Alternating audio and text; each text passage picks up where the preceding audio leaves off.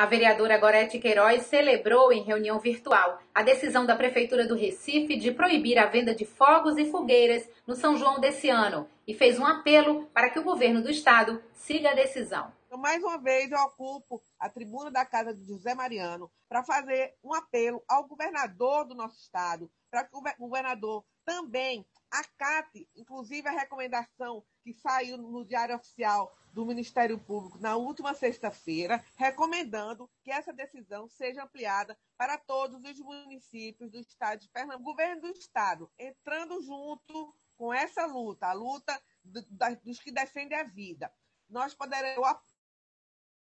apoio oficial